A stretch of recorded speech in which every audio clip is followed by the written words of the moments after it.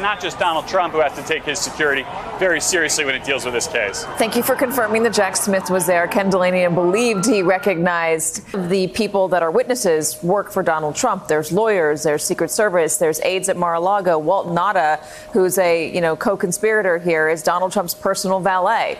How does that work?